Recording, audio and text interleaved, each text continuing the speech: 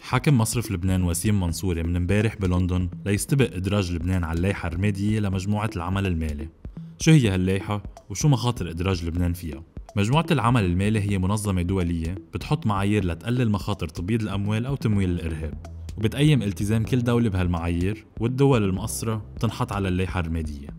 من أول الأزمة بلبنان ركزت تقارير المجموعة على ارتفاع مخاطر تبييض الأموال بس أجلت إدراج لبنان على اللائحة الرمادية على أمل أنه الدولة تعالج الموضوع.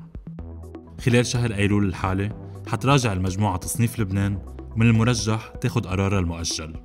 صحيح النظام المصرفي بلبنان متعثر بس اللائحة الرمادية حتخلي الوضع أصعب من أربع نواحي.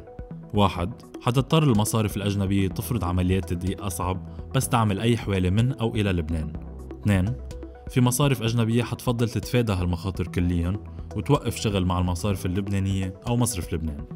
ثلاثة مع صعوبة عمليات التحويل مع الخارج حتصير أي عملية تحويل مع لبنان مكلفة أكثر وبتاخد وقت أكثر حتشمل هالصعوبات شركات تحويل الأموال.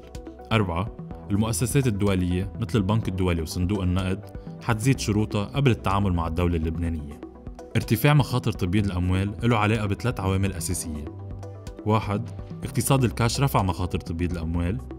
اثنين النظام القضائي اللي فرجى ضعف كبير بمتابعة الفضايح المالية. وثلاثة أجهزة الدولة الرقابية وخصوصا الإدارة الضريبية بوزارة المالية بحالة عجز. من وقت ما استلم مهام الحاكمية ما تصدى وسيم منصوري لمعالجة هالمشاكل. بالعكس مشي على خطى رياض سلامة بإدارة الأزمة المصرفية ومنع إعادة هيكلة القطاع.